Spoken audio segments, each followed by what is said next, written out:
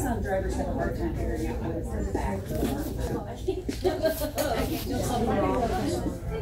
We are yarn, I would say rookie, but that's too much experience. Doing this for a friend of ours that loves.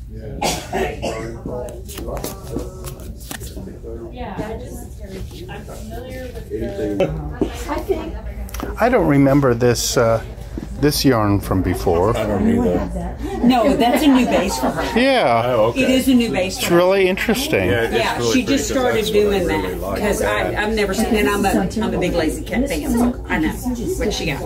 Yeah. Yeah, Her opulence and elemental are my You changed something. bases that I you know. yeah. I Is it opulence with the baby has to do cashmere? with it. Is the opulence with the cashmere or super soft?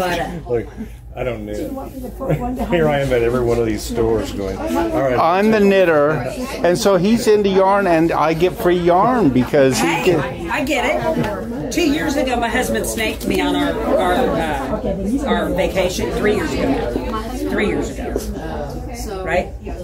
I spend. He, he booked our vacation. We did a, an Alaskan cruise, and he said, "What about these dates?" And I'm like, "Oh yeah, that's great." And then I, he booked it, and I looked at it, and went, "Oh my god, that's during the yarn crawl." No, And I looked at him, and I said, "Dude," he goes, "Okay, I'll buy all your yarn while we're on vacation."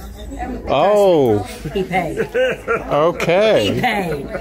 Alaskan yarn. Okay. And that that was the year I was president of the guild, and so on the bus, I we t- I took a big picture of myself and put it on a, a stick, and so everybody had to take pictures with me, and then I had a drawing. I did all this stuff because I'm like I'm the president of the guild, and I'm not going on the yarn right, crawl. but you know, But you know, Alaskan cruise yarn crawl. I said, "Mm, I'm doing the Alaskan cruise Yeah. with my hubby.